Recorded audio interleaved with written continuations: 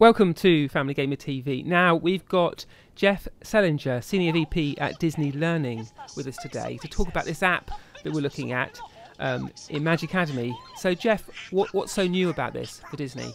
Well, first off, Disney Imagicademy is a new learning initiative that's designed for families with children ages three to eight.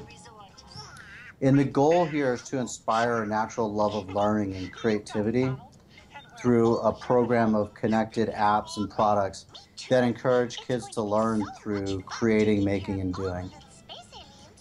And so, is this, something that Disney haven't done before? I mean, I've seen apps that have had a learning aspect to them, but is this, this is a new thing? Yeah, this is absolutely a new thing. So, um, what's what's different here, and what's different uh, from what's in the marketplace is number one, um, it's it's Disney at the core. So it's the characters and stories that kids and families already love, and we develop the learning objectives um, in conjunction with top uh, academics and experts. Secondly, it's really um, a family experience. The way that it's designed, the children learn through making and doing, and as they create different things, those get shared back into a companion application for parents. Mm-hmm. And so the parents can see the things that the kids are making and uh, the things that they're learning. And from there, they can actually send a digital high five back to the child. Nice, yeah. Which is pretty cool. So the kids know that uh, their parents are are seeing what they're making, and then from there we uh, suggest physical activities that can complement the digital learning.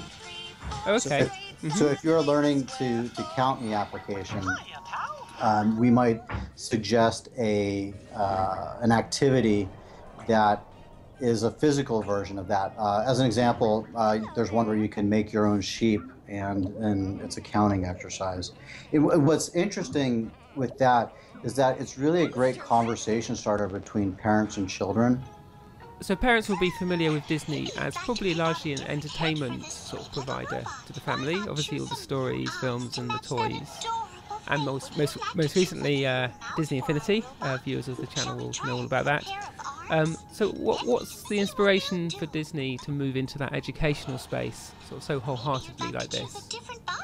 Well, parents told us that there was a need in the marketplace that it's a it's a cluttered environment and it's hard to find consistency and quality throughout the application experiences. And uh, within that, they're really looking for for a solution that uh, helps with uh, supplemental supplemental learning. And so, does Disney draw on sort of outside expertise in terms of the sort of how to pitch that learning in a way that would complement, say, learning in the classroom? Yeah, so uh, we we have a uh, a panel of um, advisors and top top epi- uh, top academics that help build all of the learning objectives uh, throughout all the subjects. And that really goes all the way down into gameplay and the way that things are executed. Mm-hmm. And is this an experience? So you've talked about books um, and apps. Uh, learning, my kids often learn in sort of on online on the web and sort of web app type experiences. Is that something that would be part of the Imagicademy? Well, we're starting off with um, tablet or uh, tablet uh, based experiences. Um, that could uh, potentially extend to web later on. Mm-hmm. But so apps are where you're starting that, um, and there's a range of apps, aren't there, coming out in this initial wave?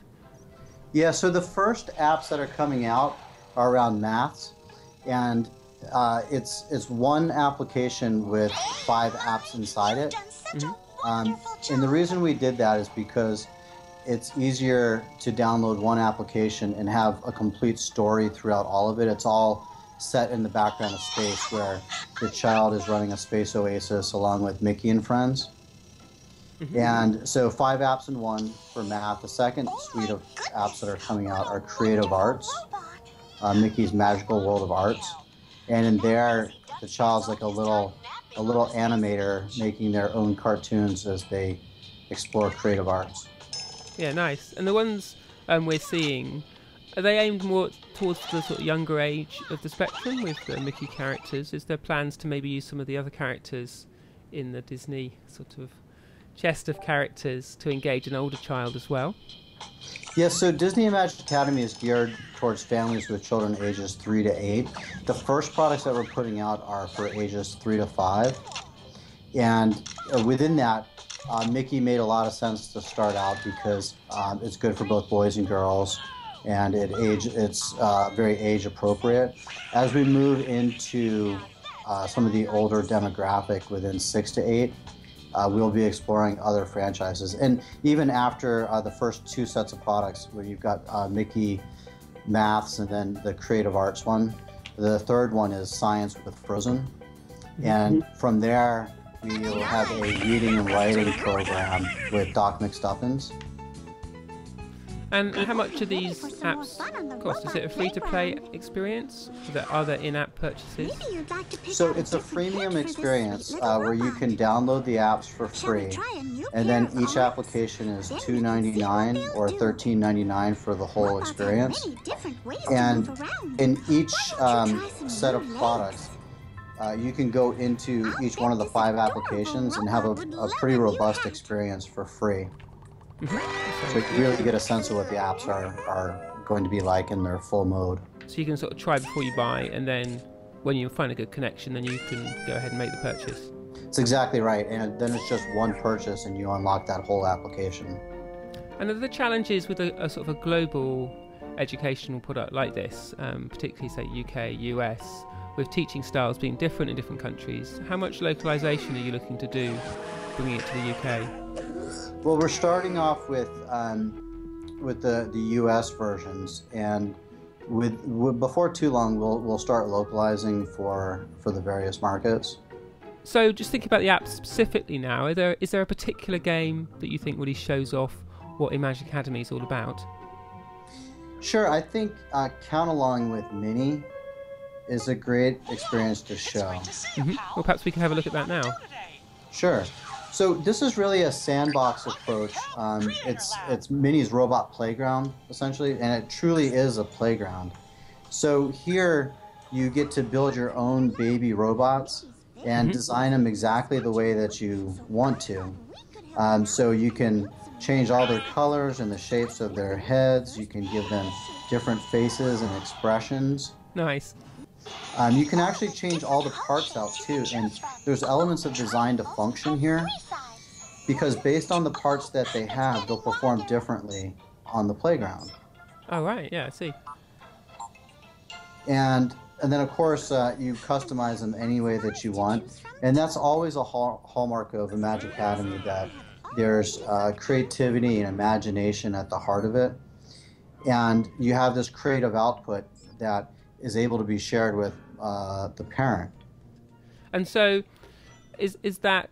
Can you do that in in segments? So you could create your robot like we're seeing here, and then you could go and do one of the play, playground activities, close the app, and then come back and do another bit later, or would you need to do it all in one go?